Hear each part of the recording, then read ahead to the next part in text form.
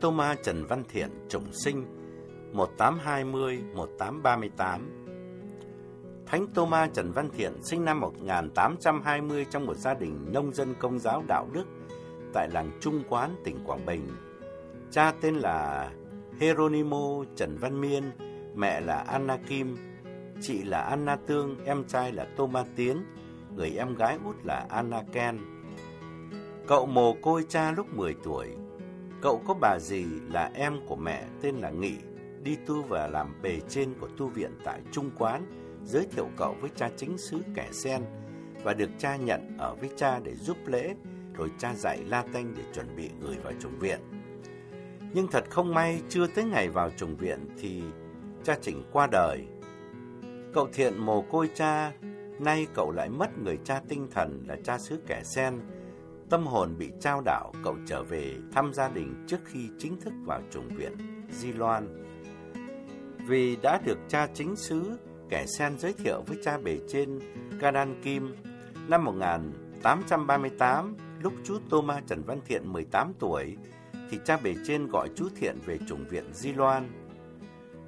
Nhận được tin vui mừng này, chú Thomas Trần Văn Thiện được ông trùm Anton Nguyễn Hữu Quỳnh, tức Năm Quỳnh, sau cũng được phúc tử đạo ở Mỹ Hương, nhờ chị Sao dẫn chú Thiện vào Di Loan. Trình diện với cha giám đốc chủng viện, hai người vừa đi tới đất đỏ, thì gặp lúc quan quân đang truy nã và bắt đạo một cách gay gắt quá sức. Chị Sao lại phải nhanh chân đưa chú Thiện tới làng Trà Linh, may mắn được gặp nữ tu Madalena Yến, cho biết tin cha bể trên chủng viện đã đi trốn, các chủng sinh phải giải tán để trở về với gia đình. Chủng viện đã đóng cửa rồi.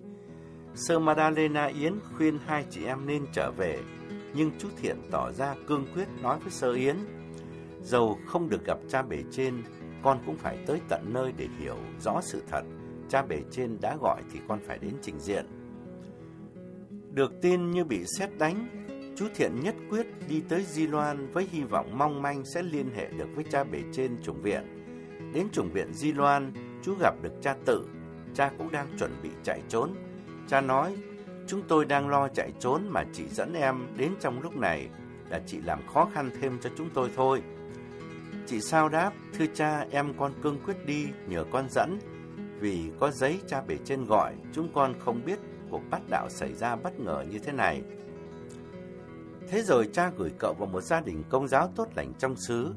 Sau hai ngày chưa liên hệ được với cha bể trên và cũng chưa kịp đi ẩn trốn thì bất thần, quan huyện Minh Linh chỉ huy hơn 300 binh lính về bao vây làng Di Loan, mục đích để bắt cha bể trên Canan Kim. Nhưng may mắn khi ấy cha đã trốn lên rừng rồi. Quan quân sục sạo khắp nơi trong làng mà không bắt được cha Canan Kim thì buồn bực. Khi gặp chú Thomas Trần Văn Thiện, thấy tướng mạo trắng trẻo, đẹp trai thì nghi là trùng sinh dưới quyền cha Kim nên bắt trói luôn, với hy vọng sẽ tra khảo để biết chỗ trú ẩn của cha Kim. Họ bắt thêm chừng 20 người ở Di Loan và An Ninh, giải về huyện Minh Linh, rồi ngày hôm sau cho quan giải về nộp cho quan đầu tỉnh Quảng Trị. Quan đầu tỉnh Quảng Trị là Bùi Ngọc Quý được báo cáo chú Trần Văn Thiện là chủng sinh của cha Cadan Kim nên ra lệnh phải tra khảo cặn kẽ để biết được nơi ẩn trốn của cha bể trên. Tôi là người trung quán tỉnh Quảng Bình, tới đây để tìm thầy dạy học. Quan lại hỏi, ngươi có phải là người công giáo không? Chú Thiện đáp, phải tôi là người công giáo, cha mẹ tôi cũng là người công giáo. Quan nói, ngươi hãy bỏ đạo đi, ta sẽ tha cho về. Chú Thiện nói, đạo dạy tôi thờ kính Thiên Chúa là đạo thật, tôi không thể nào bỏ đạo được, dầu có phải chết tôi cũng không bỏ. Quan tỏ ra khoan dung, khuyên chú Thiện nhiều lần. Quan dụ chú Thiện, nào chú còn trẻ quá, lại đẹp trai, thông minh, học giỏi, ăn nói lý sự, tương lai rất có nhiều triển vọng. Thấy chưa có kết quả, quan cho lệnh tống giam vào ngục. Lần khác quan lại kêu chú Thiện ra khuyên nhủ.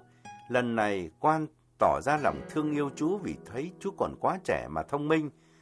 Quan nói ngọt ngào rằng, Này chú, hãy nghe ta, chú bỏ đạo bước qua thánh giá này. Ta rất thương chú, ta sẽ gả con gái ta cho chú và sau này sẽ lo liệu cho chú làm quan. Con gái ta rất là dễ thương. Chú Thiện khiêm tốn đáp, thưa quan lớn tôi chỉ mong được chức quyền trên trời, chứ không mong chức quyền ở dưới thế gian này. Nghe quan hứa hẹn, nhiều người bị bắt cũng tỏ ra nối tiếc dùm cho chú vì chú đã bỏ lỡ một cơ may ngàn vàng. Nhưng chú trùng sinh tỏ ra trí khí thật cuột cường, hiên ngang, bước lên tất cả những quyến rũ danh vọng của Trần gian, khiến mọi người nhất là quan đầu tỉnh phải bỡ ngỡ ngạc nhiên. Suy nghĩ mấy phút, quan đầu tỉnh tỏ ra tức giận vì chú Thiện đã dám chê những lời hứa hẹn và lòng yêu ái bao dung của quan. Quan càng bực tức vì đã hứa cả con gái xinh đẹp của mình mà nó cũng dám khinh chê. Vì lòng tự ái và bực tức quan không bao dung nữa, quan cho lệnh đánh 40 roi thật đau đớn. Máu chảy thấm ướt quần áo. Anh lính đánh mỏi tay, nát cả chiếc roi, phải chuyển cho anh lính khác đánh tiếp.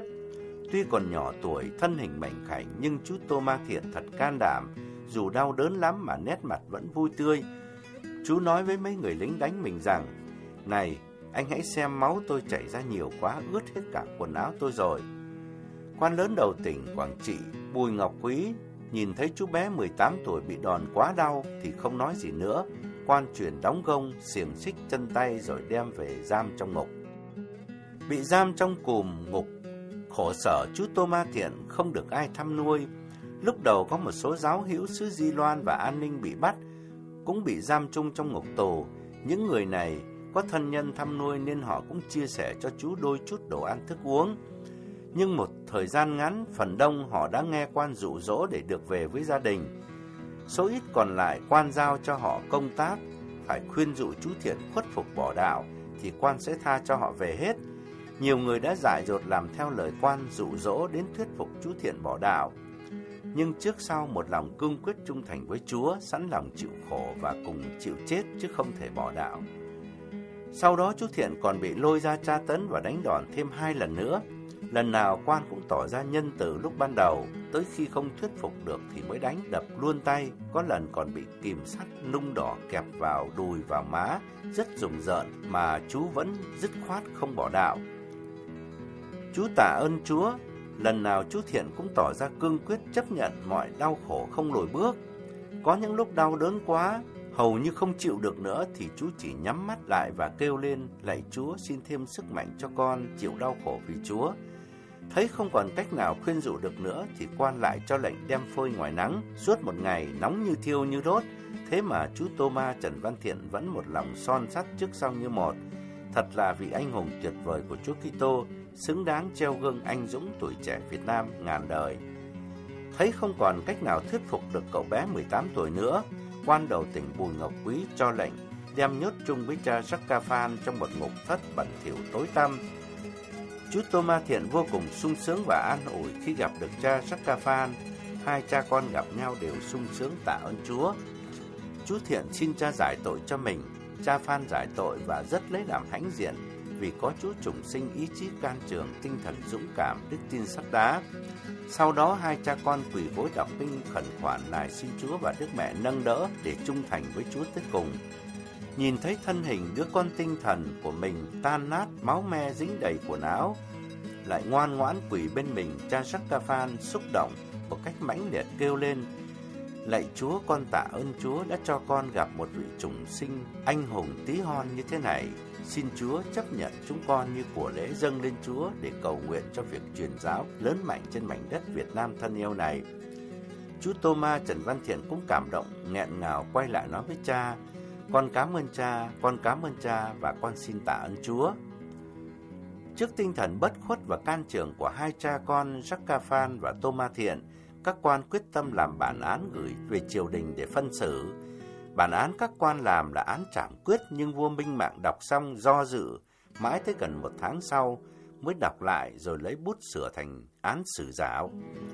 Trong thời gian chờ đợi ngày vinh phúc, chú Thiện đã viết thư gửi về cha mẹ, anh chị em họ hàng để từ giã và xin mọi người cầu nguyện xin Chúa giúp sức để cho cậu trung thành với Chúa đến cùng. Thế là ngày chờ đợi đã tới, án lệnh xử giáo cả hai cha con vua đã gửi tới tỉnh Quảng Trị. Ngày 21 tháng 9 năm 1838, các quan và hơn 50 binh lính gươm giáo đi thành hai hàng, áp giải cha con Sakafan và chú chủng sinh Thomas Trần Văn Thiện tới Pháp trường ở cạnh làng Nhan Biểu, tỉnh Quảng Trị. Trên đường tới Pháp Trường, tới bến đò sông Thạch Hãn, cha An đã đứng chờ sẵn ở đó, Ngài vẫy tay, dơ lên làm phép giải tội cho hai vị anh hùng đức tin. Một số người đứng chờ đò thấy hai cha con phải đeo gông đi giữa hai hàng lính cầm gươm giáo thì tỏ lòng thương xót. Có tiếng của một bà già vọng lên giữa bầu không khí ngột ngạt nặng nề như trời sắp rông bão. Lại các thánh tử đạo của Chúa khi lên trời nhớ cầu cho chúng con. Một giọng nói trẻ trung xen vào. Đúng là thánh rồi còn gì nữa, trông hiền lành như con chiên vậy, dễ thương quá, giết đi thật là tội với trời. Đoàn quân lặng lẽ qua đò, rời xa đám đông, bước đi hướng về làng Nhan Biểu. Không một ai được phép đi theo. Khi đi tới một quán ăn, theo thói quen các quan dành cho tử tội một bữa ăn ân huệ cuối cùng. Các quan mời hai cha con vào ăn, nhưng cả hai đều lịch sự từ chối.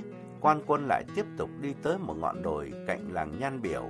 Khi tới nơi thì chú Tô Ma Thiện ngoan ngoãn quỳ xuống trước mặt cha, Lý Hình tới tháo gông và xiềng xích, rồi tròng dây vào cổ chú Trùng Sinh 18 tuổi. Đợi ba hồi trống chiêng nổi lên thì sáu Lý Hình cầm hai đầu dây. Tiếng trống tiếng chuông thứ ba vang lên thì hai bên dùng hết sức mạnh kéo hai đầu dây siết lại để vị tử đạo tắt thở. Dòng máu đào tươi thắm vọt lên, xác thân ngã vập xuống. Khi tội nhân đã chết rồi thì bọn lính đạp trên ngực và lật sắp xuống, đạp trên vai để xác nhận là đã chết. Liên tiếp ngay sau đó là tới lượt cha Francisco Jacafan cũng bị xử tử cùng một cách thức như vậy. Hai vị chứng nhân đức tin dũng cảm đã được về với Chúa trong cảnh cô đơn vì trong cuộc xử này các quan không cho ai đi theo. Do đó sau khi hai vị tông đồ dũng cảm của Chúa đã chết, những người ngoại giáo tại địa điểm này đã xin chôn cất hai vị ngay tại pháp trường. Mãi tới năm 1847, Hội Thừa Sai Paris mới xin cải táng để đưa về đặt tại chủng viện Hội Thừa Sai Paris ở Pháp Quốc.